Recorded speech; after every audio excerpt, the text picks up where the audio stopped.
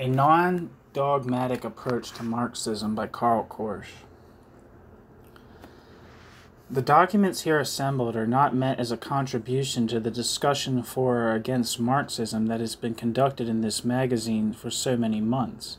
There is no use in discussing controversial points in any social theory, not even in that social theory which is commonly described as religion, unless such discussion is part of an existing social struggle. There must be several possibilities of action for the party, group, or class to which the social theory in question refers. The difference may concern social aims, tactics, forms of organization, or the definition of the enemy, of allies, neutrals, or the master plan, if any, to be based on one or another way of judging a given his social a given social situation or development. Yet the result of any such materialist discussion must in all cases, quote, make a difference, quote, in respect to the actual behavior not of an individual nor of a small group of people, but of a, ver- of a veritable collective, a social mass. In this materialistic sense, it is not even sure that the particular social theory called Marxism has ever been the subject of a discussion in this country. Various people have been asked from time to time why they are or why they are not Marxists, just as they might have been asked why they believe or do not believe in God, in science, or morality, in race, class, democracy, victory, peace, or the impending destruction of all civilization by the atom bomb. There has also been some philological and interpretive effort spent on settling the question of, quote, what Marx really meant, end quote. Last but not least, there has been far too much of what the most of that most senseless of all discussions, which aimed at deciding which particular shade of the theories of Marx, Engels, and on and the several generations of their disciples up to Lenin, Stalin, or let us say Leontiev, represents the most orthodox version of the Marxist doctrine, or one step higher, which of the various methods used at different times by Hegel, Marx, and the Marxists truly deserves to be called the genuine quote dialectical end quote method?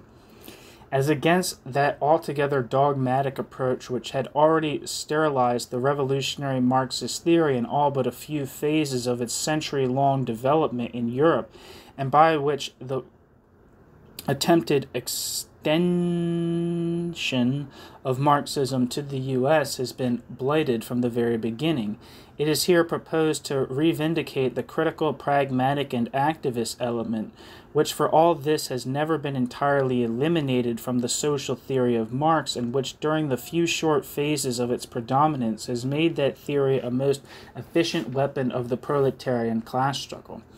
The documents reprinted below result in part from an earlier attempt at re emphasizing just this element of Marxist theory an attempt that was made by the present writer and a group of associates in Germany in the early 30s, and which was then temporarily interrupted by the anti Marxist violence of the Hitler government. Of the four documents, two date still further back to similar attempts that had been made in 1894 and 1902 by such non dogmatic Marxists as Lenin and George Sorel. They were used as models and as points of departure by the group of 1931 when it started on its new attempt at de dogmatizing and reactivating the Marxian theory. The Lenin piece of 1894, Document 3, was directed against a book in which the econo- economic and sociological theories of the famous Narodniki theorist Mikhailovsky had been critically attacked by the then, quote, Marxist, later bourgeois writer Peter Struve. Of this important work, of Lenin, unfortunately, only a small part has appeared in English in the selected works of Lenin, Volume 1, and that part does not include the chapter from which we have taken the piece printed below. The particular intent of our document lies in the fact that just on the, that occasion, Lenin himself found a materialist critic of the idealist quote subjectivism of end quote of the Narodniki found himself in a position in which he had to extend his materialist criticism with equal fervor to the abstract and lifeless quote objectivism end quote of Struve. In order to make Lenin's argument fully understandable, we quote the sentence of Struve which aroused Lenin's ire. Struve had found fault with Mikhailovsky's opinion that there are, quote, no unsurmountable historical tendencies which serve as starting points as well as obligatory limits to the purposive activity of the individual and the social groups, end quote. Lenin is quick in discovering that the non revolutionary implications of this Struvian comment on Mikhailovsky. Quote, this, says Lenin, quote, is the language of an objectivist and not that of a Marxist materialist. End quote. And from this point of departure, Lenin embarks on his demonstration of the important differences which separate the principles of the quote objectivist end quote on the one hand from those of the quote Marxist materialist on the other hand. Document 4 tries to bring out more distinctively the non dogmatic character of Lenin's antithesis to Struve's objectivistic version of the traditional Marxist doctrine. For this purpose and for a series of further experiments in loosening up and de dogmatizing certain aspects of the Marxist theory, the group of 1931 made use of the similar experiment made by Sorel in 1902. According to Sorel, the six theses reproduced in document 2 below result from a process from a process of quote extracting the strictly scientific elements of history from the theory of historical materialism end quote. In this critical reformulation of historical materialism by one of the most scientific and most pragmatically minded interpreters of Marxism in modern times, the least important point is, in the view of the writer, Sorel's special emphasis on the role of legal concepts and the legal profession. What really matters is the attempt to clarify the various concatenations that exist between the general terms of the materialist theory and of which the law and its professional exploiters seem to be only one of a number of possible illustrations. Most important, however, is the form in which Sorel has changed into a positive inspiration for unfettered scientific research that till then must have seemed to many historians a somewhat authoritarian laying down of the rules of writing history, a different impression might have been derived perhaps from a closer acquaintance with the remarkably free application that had been made of the new, quote, critical and materialist method, end quote, by Marx himself. Yet the new weapon of the revolutionary class struggle had already lost much of its critical edge in the hands of the first generation of Marxist scholars at the time of Sorel's writings. Of Sorel's writing. And it is no secret that since then revolutionary Marxism has lost out completely against the quote stabilizing end quote influences that were expressed theoretically in the growth of the old and the new Marx orthodoxy from Kautsky to Stalin. So the Sorelian operation has to be perform, performed once more. Finally, we had added a document which is meant to do for the famous quote dialectical method end quote what Sorel and Lenin did for historical materialism. The quote theses on Hegel and revolution end quote translated the theses on Hegel and revolution translated in document 1 were first written in German for the centenary of Hegel's death in 1931. As we will see, they approach from a totally opposite direction the whole tangle of difficulties which beset the problem of the Hegelian dialectic and its modified or unmodified use by Marx and Engels. Dialectics is here considered not as a kind of super logic, that is, not as a set of rules to be applied by individual thinkers in the process of thinking, just like ordinary logic, and distinguished from ordinary logic only in the sense in which so called higher mathematics is distinguished from those simpler and, in fact, fact, long outdated rules which are taught as elementary mathematics in our schools today. It is treated rather as a number of characteristic phenomena that can be observed from without in the sequence and development of thoughts in a given historical period. The first not quote the first quote non-dogmatic end quote result of this changed approach is that a man does not become a revolutionary by studying dialectics, but on the contrary, the revolutionary change in human society affects, among other things, also the way in which the people of a particular period tend to produce and to exchange their thoughts. Materialist dialectics then, is the historical investigation of the manner in which, in a given revolutionary period, and during the different phases of that period, particular social classes, groups, individuals form and accept new words and ideas. It deals with the often unusual and remarkable forms in which they connect their own and other people's thoughts and cooperate in disintegrating the existing closed systems of knowledge and in replacing them by others by other and more flexible systems, or in the most favorable case, by no system at all, but by a new and completely unfettered movement of free thought passing rapidly through the changing phases of a more or less continuous or discontinuous development. Secondly, it appears by implication from Theses 2 and 3 that there is no reason to boast of the fact that both Marx and Lenin, after a first violent criticism and repudiation of the old Hegelian quote, dialectic, end quote, have returned to have returned at a later stage in a mood of disenchantment and partial frustration to a very little qualified acceptance of that same philosophical method that at its best had reflected the bourgeois revolution of an earlier period. Here, as in many other aspects, the unfettered development of the Marxian theory does not point backwards to old bourgeois philosophies and ideas, but forward to a non dogmatic and non authoritarian scientific and activistic use of the Marxian as well as all other theoretical formulations of the collective experience of the working class. Document 1 Theses on Hegel and Revolution 1. The Hegelian philosophy and its dialectical method cannot be understood without taking into account its relationship to revolution. A. It originated historically from a revolutionary movement. B. It fulfilled the task of giving to that movement its conceptual expression. C. Dialectical thought is revolutionary even in its form. Turning away, 1. Turning away from the immediately given, radical break with the hitherto existing, quote, standing on the head, end quote, new beginning. 2. Principle of contradiction and negation. 3. Principle of permanent change and development of the quote, qualitative leap, end quote. D.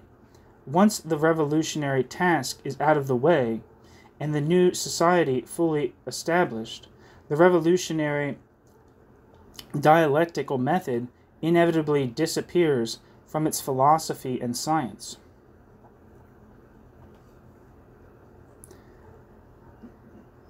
Thesis 2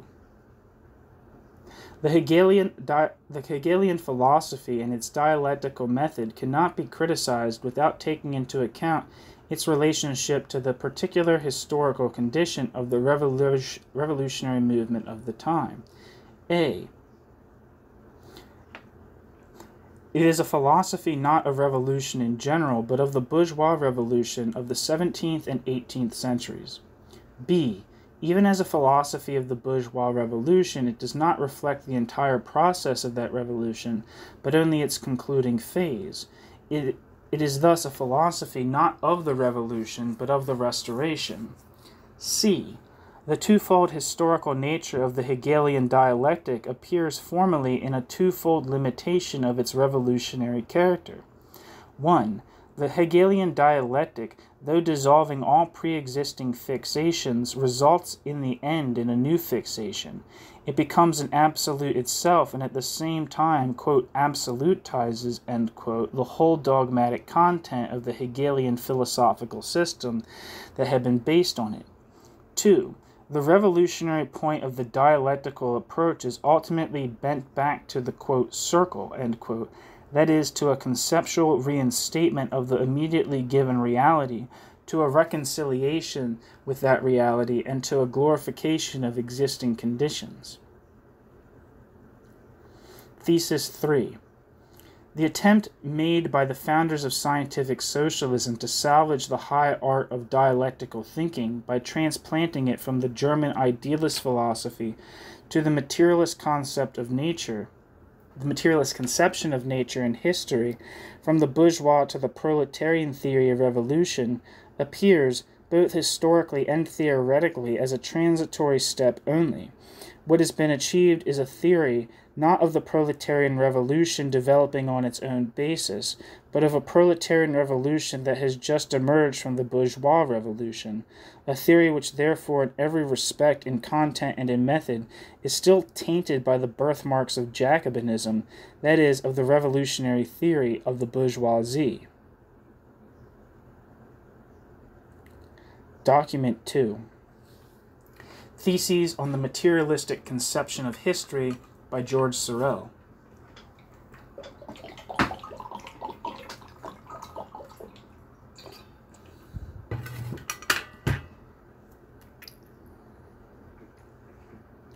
One, for investigating a period of history, it is of great advantage to find out how society is divided into classes.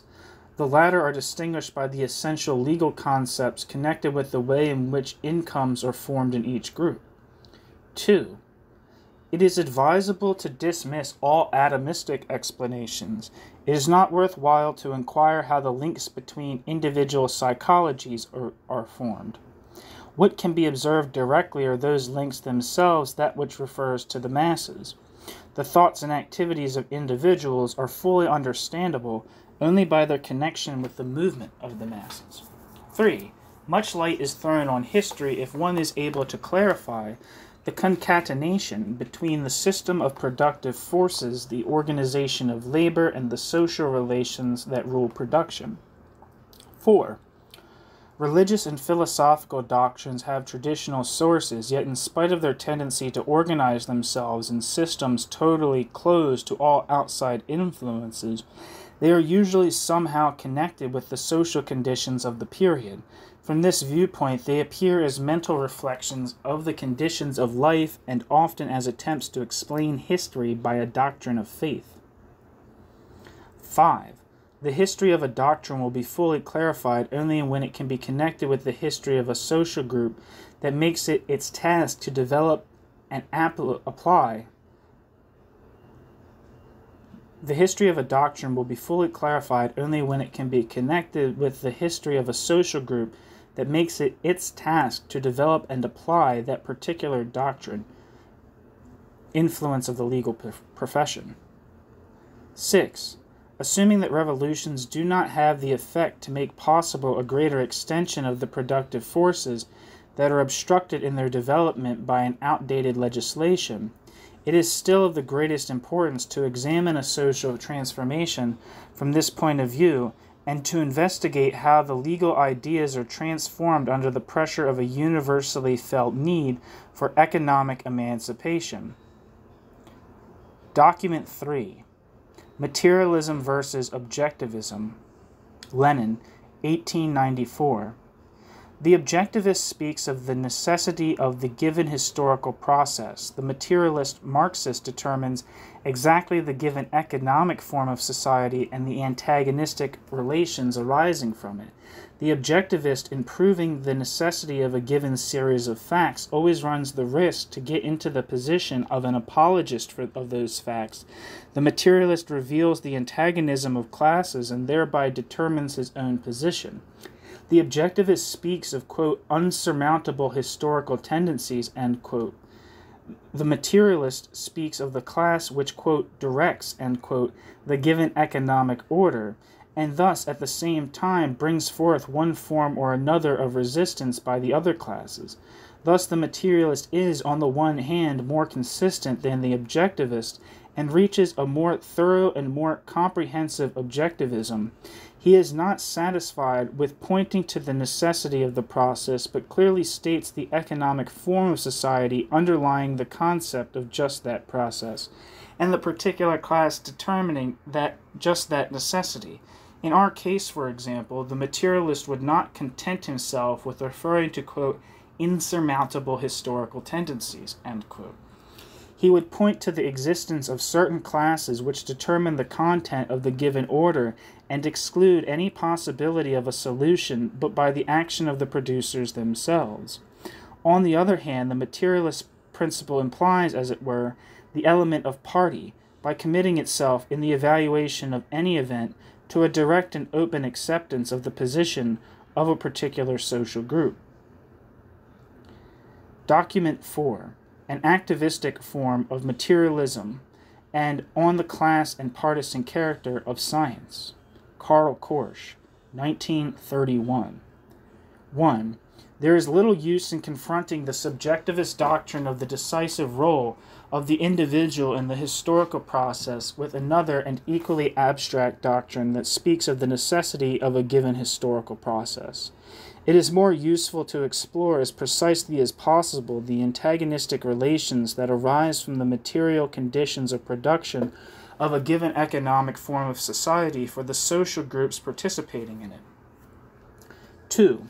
Much light is thrown on history by countering every alleged necessity of a historical process with the following questions Necessary by the action of which class? Which modifications will be necessary in the action of the class faced by the alleged historical necessity? 3. In the investigation of the antagonistic relations existing between the various classes and class fractions of an economic form of society, it is advisable to consider not only the material but also the ideological forms in which such antagonistic relations occur within the given economic form of society. 4. The content of a doctrine, theoretical system, any set of sentences and operational rules used for the statement and application of a theory or belief cannot be clarified so long as it is not connected with the content of a given economic form of society and with the material interest of definite classes of that society. 5. There is no need to assume that the objectivity of a doctrine will be impaired by its methodological connection with the material interest and practical activities of definite classes. 6. Whenever a doctrine is not connected with the material interest of a definite class by its own proponents, one will often be justified in assuming that the proponents of such doctrine aim at defending by it the interests of the ruling classes of the society in question. In these cases, the theoretical uncovering of the class function of a given doctrine is equivalent to a practical adoption of the cause of the classes oppressed in that society. 6. From this state of affairs and from its theoretical recognition springs the objective and subjective partisan nature of science.